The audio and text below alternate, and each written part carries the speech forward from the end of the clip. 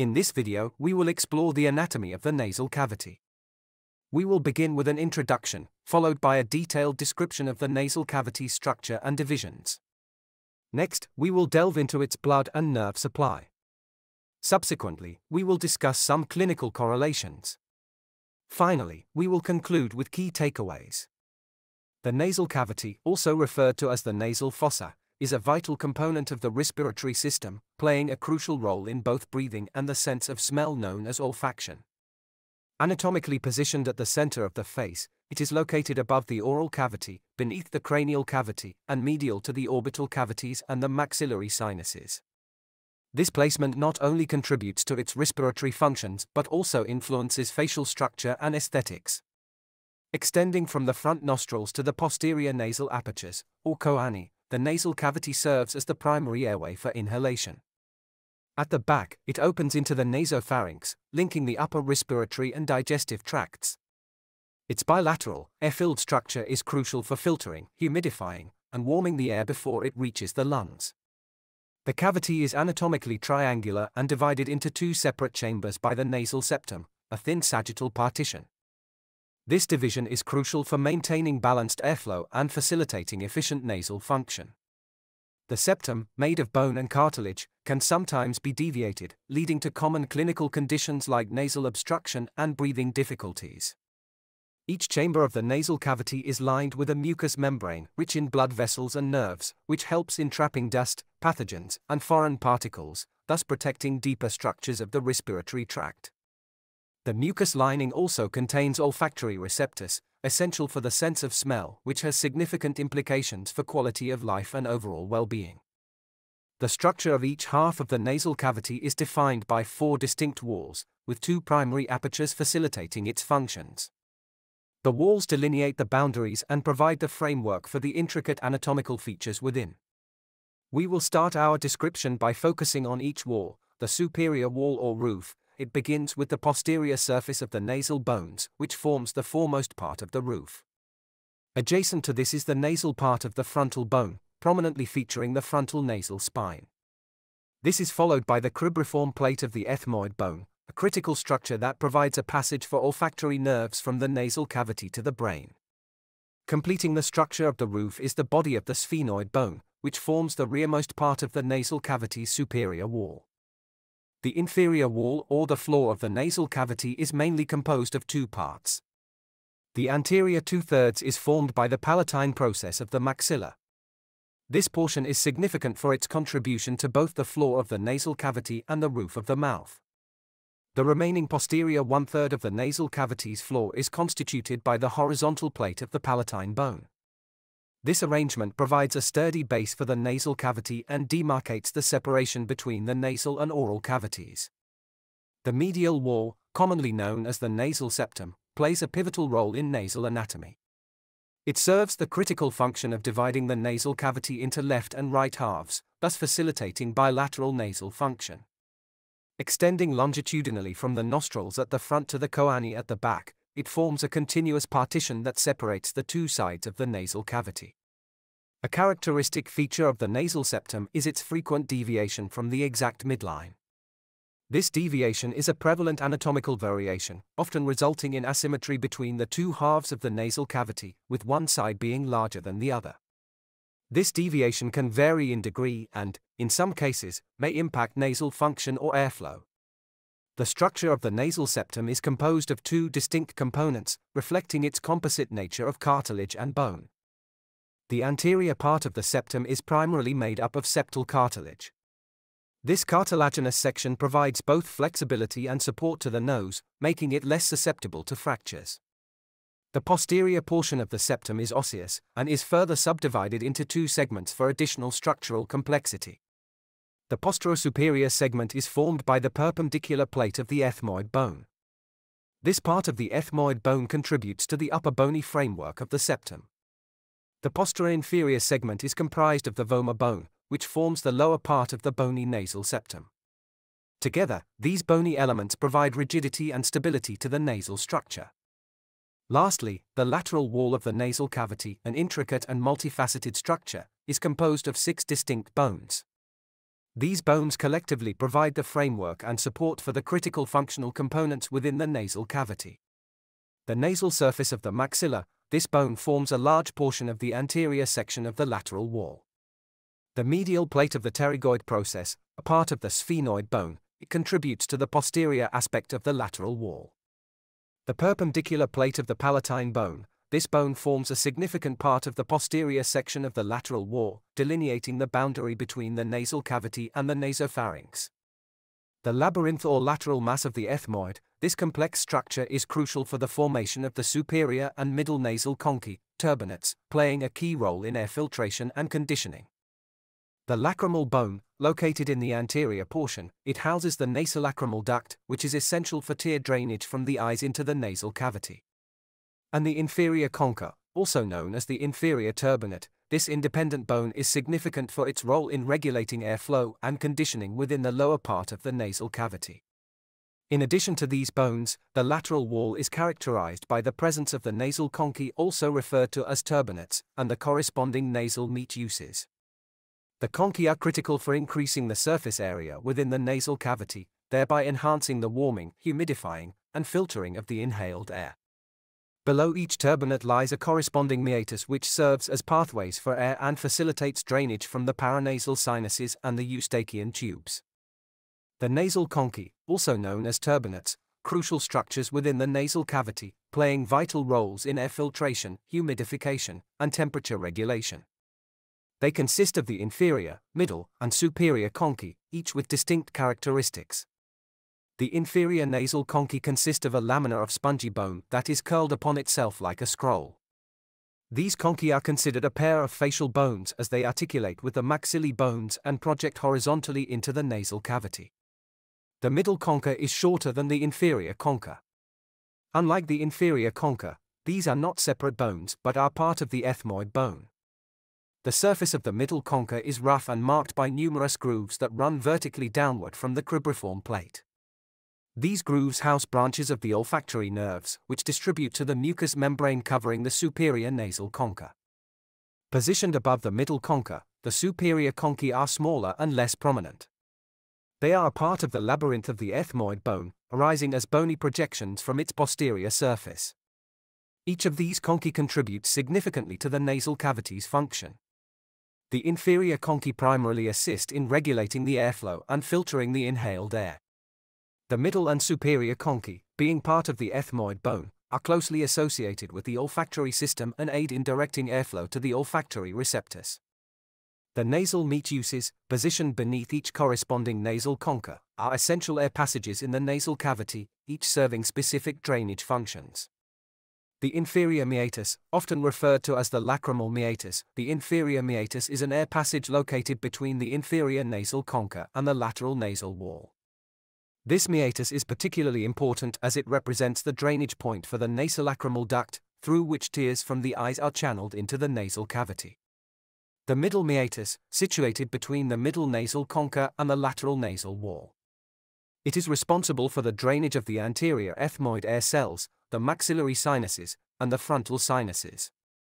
Lastly, the superior meatus, the smallest among the three, is located between the superior nasal concha and the lateral nasal wall.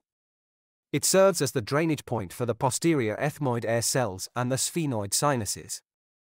The boundaries of the superior meatus are defined medially by the lateral surface of the superior concha and laterally by the medial surface of the ethmoid bone. Each of these meatuses contributes significantly to the nasal cavity's functionality. The nasal cavity is characterized by two primary sets of apertures, the anterior nasal aperture, commonly known as the external nares, and the posterior nasal aperture, known as the choana, each serving distinct functions. The anterior nasal aperture, known as the external nares. These are the two visible openings at the front of the face, forming the entrance to the nose. The structure of each nares is framed by a specific arrangement of bones. Superiorly, it is formed by the free lower border of the nasal bones, which provide the upper framework. Inferiorly and laterally, the anterior border of the maxillary bones defines the lower and side boundaries. This configuration allows for the passage of air into the nasal cavity and plays a key role in the process of breathing and olfaction. On the other hand, the posterior nasal aperture, commonly referred to as choanae. Are crucial openings located at the back of the nasal cavity, marking the transition between the nasal cavity and the nasopharynx. They are bounded by several anatomical structures. Superiorly, the boundary is formed by the body of the sphenoid bone. Inferiorly, it is demarcated by the posterior border of the horizontal plate of the palatine bone. Medially, the posterior border of the vomer forms part of the boundary. And laterally, the posterior border of the medial pterygoid plate completes the framing. These apertures are essential for the continuous flow of air from the nasal cavity to the respiratory tract. Both the anterior and posterior nasal apertures are integral to the nasal cavity's functionality. The anterior apertures facilitate the initial stages of respiration and olfaction, while the posterior apertures ensure a smooth transition of air into the lower parts of the respiratory tract. The nasal cavity, which extends from the vestibule of the nose to the nasopharynx, is anatomically divided into three distinct regions, each with unique features and functions. The vestibule is the area surrounding the anterior opening to the nasal cavity, functioning as the initial segment of the nasal passage. It is characterized by the presence of nasal hairs, vibrissae, and a skin-like lining. The vibrissae are crucial for filtering larger particles like dust and debris from the air entering the nasal cavity, serving as the first line of defense in the respiratory system. The respiratory region, including the floor and the inferior and middle conchae, this region forms the major part of the nasal cavity. It is lined by a specialized type of tissue known as ciliate pseudostratified epithelium, commonly referred to as respiratory epithelium. This lining plays a key role in filtering, humidifying, and warming the inhaled air, thanks to its cilia and mucus-secreting goblet cells. Lastly, the olfactory region, located above the free edge of the superior turbinate, this region is specialized for the sense of smell. It is lined with olfactory cells that are equipped with olfactory receptors. These receptors are sensitive to odor molecules, making this area essential for detecting a wide range of scents. In terms of transition between these regions, the transition from the vestibular mucosa to the respiratory mucosa is gradual, indicating a seamless change in the type of epithelium from skin-like to respiratory. However, the transition from the respiratory mucosa to the olfactory mucosa is abrupt, signifying a distinct change in the function and cellular composition of the lining from air conditioning and filtration to olfaction. The nasal cavity's arterial supply is both extensive and intricate, drawing blood flow from branches of both the internal and external carotid arteries. This comprehensive vascular network is essential for the nasal cavity's functions and is a key factor in certain medical conditions like epistaxis. From the external carotid artery, the maxillary artery emerges as a major contributor, providing branches such as the sphenopalatine and greater palatine arteries. Additionally, the external carotid artery gives rise to the superior labial and lateral nasal arteries, which predominantly supply the vestibule and respiratory portions of the nasal cavity. The internal carotid artery's contribution comes via the ophthalmic artery, which branches off into the anterior and posterior ethmoidal arteries. These arteries are responsible for vascularizing the roof of the nasal cavity, encompassing the superior part of the nasal septum and the lateral nasal wall. Two notable anastomotic areas within this arterial system are key sites for epistaxis. Kieselbach's plexus, also known as the Little's area, located in the anteroinferior part of the nasal septum, is an arterial network formed by the anastomosis of the anterior ethmoidal, greater palatine, sphenopalatine, and superior labial arteries. This plexus is a common site for anterior nosebleeds due to its location and dense vascularization. Woodruff's area, located in the posterior part of the inferior lateral nasal wall, just behind the inferior turbinate, involves the anastomosis of the sphenopalatine and pharyngeal arteries. This area is particularly relevant in cases of posterior epistaxis. The venous and lymphatic drainage systems of the nasal cavity are complex networks that play crucial roles in maintaining the physiological balance of this region. Within the nasal cavity, the venous drainage mirrors the arterial supply, forming a comprehensive submucosal venous network. This network is organized into three primary drainage pathways. Firstly, the superior drainage pathway involves veins draining towards the ophthalmic vein, an important route for the superior part of the nasal cavity. Secondly, the posterior drainage pathway, where veins drain into the maxillary vein, caters to the venous return from the deeper parts of the nasal cavity. Lastly, the antero-inferior drainage pathway involves veins draining towards the facial vein, addressing the lower and anterior regions of the nasal cavity. These venous pathways converge into the pterygoid venous plexus, a significant structure for the overall venous return from the nasal cavity. The lymphatic drainage of the nasal cavity exhibits a similar complexity. Lymph from the anterior part of the nasal cavity, particularly the vestibule area, primarily drains into the submandibular lymph nodes, located beneath the jaw. In contrast, lymph from the posterior and superior parts of the nasal cavity typically drains into the retropharyngeal lymph nodes, situated behind the pharynx. Additionally, the superior part of the nasal cavity also contributes to the drainage into the deep cervical lymph nodes. The sensory innervation of the nasal cavity is primarily facilitated by branches of the trigeminal nerve, which play a crucial role in conveying sensory information, including pain, temperature, and touch sensations, from the nasal mucosa. The ophthalmic division of the trigeminal nerve gives rise to the anterior ethmoidal nerve, which supplies the anterosuperior part of the nasal cavity. This nerve supplies sensation to the upper regions, including the superior turbinate and the adjacent septal area. Another important branch from the ophthalmic division is the nasociliary nerve. It further contributes to the sensory innervation of the nasal cavity, particularly in the areas surrounding the upper nasal septum and the lateral nasal wall. The infraorbital nerve, stemming from the maxillary division, extends its branches to the posterior and inferior parts of the nasal cavity. This distribution ensures the conveyance of sensory inputs from the lower regions of the nasal cavity, including the inferior turbinate and the lower part of the nasal septum.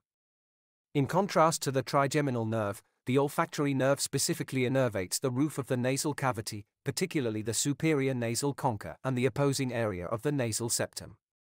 The olfactory nerve is distinct in its function, being primarily responsible for the sense of smell. It detects odorant molecules, enabling the perception of various odors.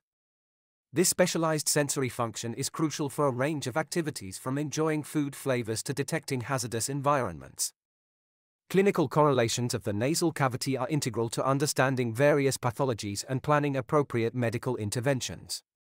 The primary imaging modalities used for diagnostic purposes include computed tomography scans and magnetic resonance imaging. Computed tomography scans are pivotal in the etiological and topographical diagnosis of chronic sinusitis. They provide detailed images of the nasal cavity and sinuses, allowing for an accurate assessment of the extent and nature of sinus involvement. This is crucial in chronic cases where inflammation, blockage, or structural anomalies are suspected. The scans offer high resolution images that help in identifying anatomical variations and obstructions in the sinus drainage pathways, which are common contributors to chronic sinusitis. In cases of nasal or paranasal tumors, magnetic resonance imaging is often employed as a complementary tool to computed tomography scans. Magnetic resonance imaging is particularly beneficial for assessing the extent of tumor invasion into surrounding structures due to its superior soft tissue contrast. It helps in determining the involvement of critical areas such as the orbit, cranial base, and intracranial compartments, which is vital for surgical planning and prognosis. The lateral wall of the nasal cavity holds substantial importance in rhinology. This area is where the primary paranasal sinuses open. These include the maxillary, frontal, ethmoid, and sphenoid sinuses. Understanding the anatomy and pathology of the lateral nasal wall is crucial, as any abnormalities or blockages here can affect sinus drainage and lead to conditions like sinusitis. In conclusion, the nasal cavities play a crucial role in the human respiratory system, characterized by their complex anatomical structure and vital functions. Each nasal cavity, separated by the nasal septum, comprises four distinct walls the roof, floor, medial, and lateral walls, along with two primary openings, the anterior and posterior nasal apertures. The lateral wall is especially significant due to the presence of the nasal conchae. These conchae are instrumental in increasing the surface area for more efficient air filtration and humidification, enhancing the air's quality before it reaches the lungs. Functionally, the nasal cavities are essential in warming, humidifying, and filtering inhaled air, contributing to respiratory health and protecting against environmental irritants. The olfactory region, located in the superior part of the nasal cavity, is critical for the sense of smell, an important aspect of sensory perception and quality of life. Clinically, the nasal cavities are susceptible to various conditions such as sinusitis, epistaxis, and allergies. These conditions highlight the importance of understanding nasal cavity anatomy and physiology for effective diagnosis and treatment. Imaging modalities like CT scans and MRI play pivotal roles in diagnosing these conditions, offering detailed insights into the nasal cavity structure and any pathological changes.